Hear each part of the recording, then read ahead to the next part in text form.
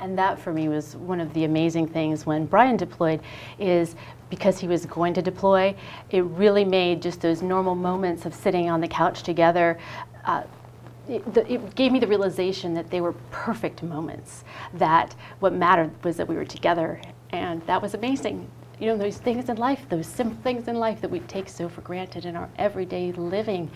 And I think that's one of the beautiful things about being put in a situation that is so dire is that it really cuts all of the garbage out and makes you see what's important in your life.